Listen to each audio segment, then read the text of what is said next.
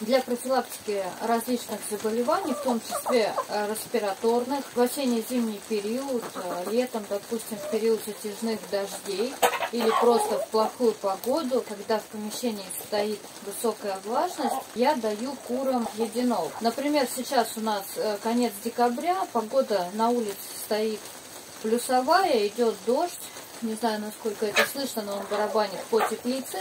Куры у меня содержатся в теплице без дополнительного обогрева и вентиляции. Естественно, в таких условиях э, в помещении получается повышенная влажность. В данный момент влажность в помещении 99%.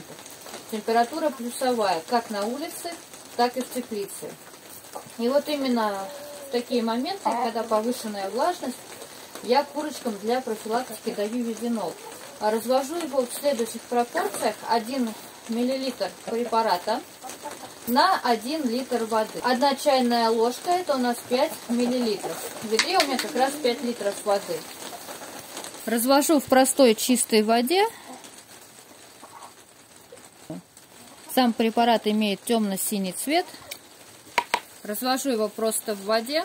Обязательно емкость, в которой мы разводим препарат, и поилка должна быть пластиковая, не металлическая, потому что данное средство а, будет окисляться в металлической посуде.